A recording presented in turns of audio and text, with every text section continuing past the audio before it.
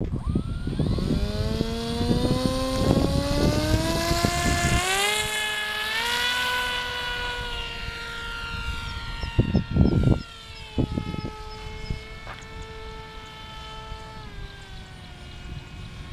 để flap nó cho nó